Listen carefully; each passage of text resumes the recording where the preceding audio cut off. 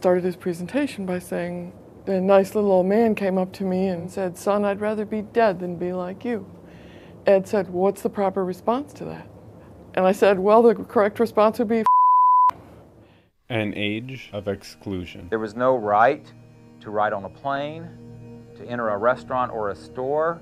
You may be told you have to leave because people don't want to watch someone drool.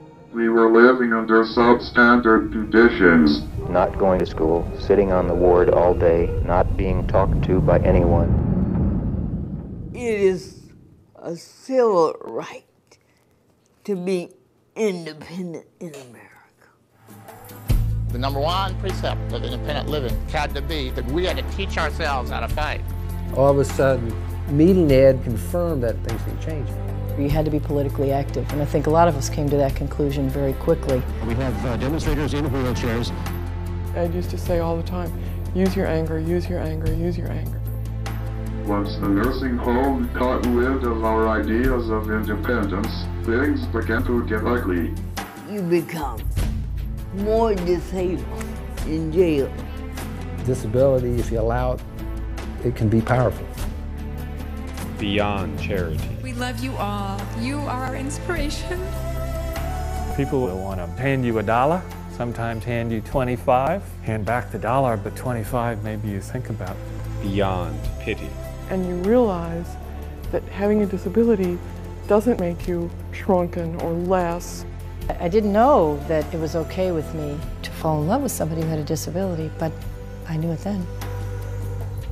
When you're up against something that the world doesn't give a rat's ass about, suicide sometimes comes to mind. As long as our government funds places that people would rather die than go, it's a great cost containment measure. Free our people! I get out of my wheelchair and I start climbing. National news, I had local, I had everybody. They say that it was the image of me was the final decision to get the ADA passed.